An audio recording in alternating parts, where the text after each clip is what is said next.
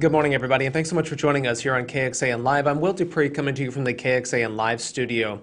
First responders are on the scene of a historic fire at a church in Hostyn, Texas, which is about an, more than an hour southeast of Austin, not too far outside LaGrange. But you're seeing photos right now from the Fayette County Sheriff's Office of the fire there at this particular church in Hostyn. We're going to bring that up full screen so you all can see.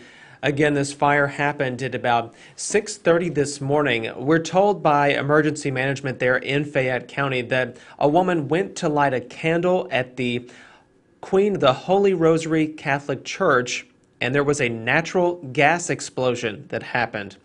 It's believed that this fire has destroyed a church that was built by German settlers in the 1800s. And as you can see right there, there are sheriff's deputies blocking that road. That's uh, FM 2436 in Hostyn. It's closed because of the ongoing response. A few moments ago, our photographer Julie Karam arrived on the scene to be able to get some extra video. I'm going to jump forward in this just a little bit so you all can see what the church looks like at this moment. Smoke coming out of the front windows there uh, as first responders work to contain the fire what we're being told by emergency management is that a woman went to the church at about 6:30 this morning. She lit a candle and a natural gas explosion happened. It is believed right now that the church is a total loss after this fire this morning. This happened at the Queen of the Holy Rosary Catholic Church. And this was built by German settlers back in the 1800s. And again, it is believed to be destroyed this morning. Uh, what we're told is that first responders have FM 2436 completely closed right now due to the ongoing response for this fire. So if you know anybody who might be in that area of Hostyn, please tell them that uh, they might not be able to get where they're going because of the fire response in that area. Emergency management is also saying that there are small gas and power outages in the area because of this fire, so please be aware of that too. Uh, the Texas Department of Transportation is also responding to help divert traffic from that area. I'm going to pull up our web story really quickly because you can see there is a map in here exactly where Hostyn is. If you're not too sure, uh, there is LaGrange right here, and about seven miles southwest is the town of Hostyn, and where that church caught on fire and is still burning at this hour. If you're just joining us, uh, we reported about a woman going to the church this morning at about 6:30 this morning. Emergency management there in Fayette County is saying that she was taken to the hospital after this fire and explosion.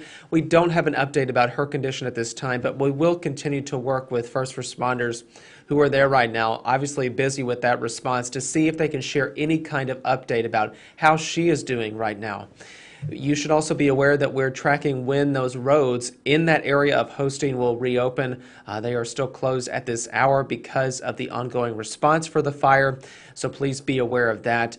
But we are seeing that the damage there is extensive to the church. Again, that is the Queen of the Holy Rosary Catholic Church. The fire happened at about 6:30 this morning following a natural gas explosion, according to emergency management officials in Fayette County. Our crew on the scene there is continuing to send back updated information and pictures, so please stay with us at KXAN because as we get those new details, we will pass them along and put them on our website as well as the KXAN News mobile app.